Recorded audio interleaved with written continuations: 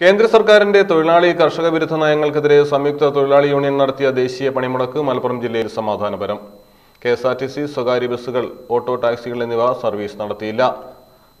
സ്വകാര്യ വാഹനങ്ങൾ നിരത്തിലിറങ്ങി. സർക്കാർ ഓഫീസുകൾ തുറന്നു പ്രവർത്തിച്ചു. തെരഞ്ഞെടുപ്പ് പ്രവർത്തനങ്ങൾക്കും തടസ്സമുണ്ടായില്ല.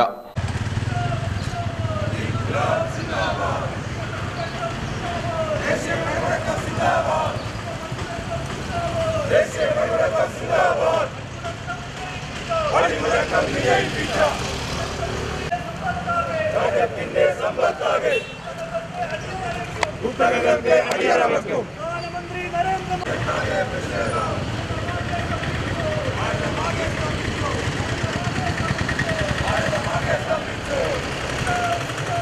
Thank you.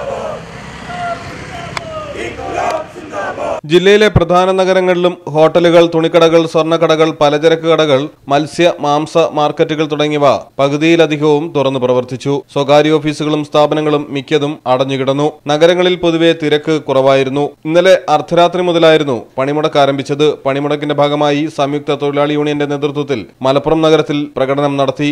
ആദായ നികുതിദായകരല്ലാത്ത കുടുംബങ്ങൾക്ക് പ്രതിമാസം ഏഴായിരത്തി അഞ്ഞൂറ് രൂപ വീതം നൽകുക.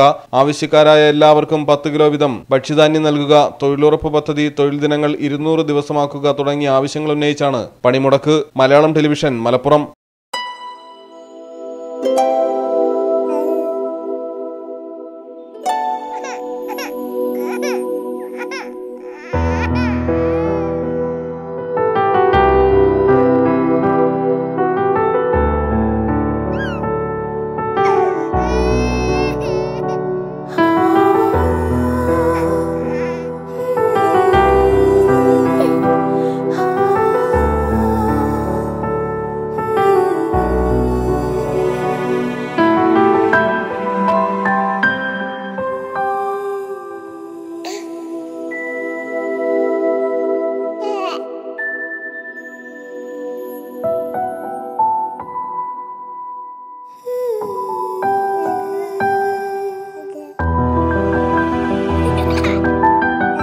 The touch of love love. പാട്ടിൽ ജ്വല്ലറി തിരൂർ കോട്ടയ്ക്കൽ പുത്തനത്താണി